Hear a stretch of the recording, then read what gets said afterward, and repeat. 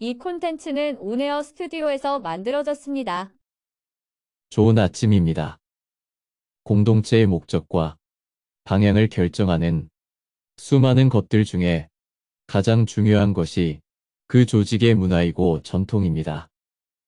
문화와 전통은 오랜 시간 동안 쌓여가는 것이기도 하고 끊임없이 변화합니다.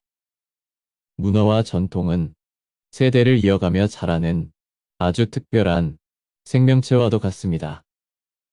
오늘도 공동체에 출근하여 새로운 문화와 전통을 이어갈 당신을 응원합니다.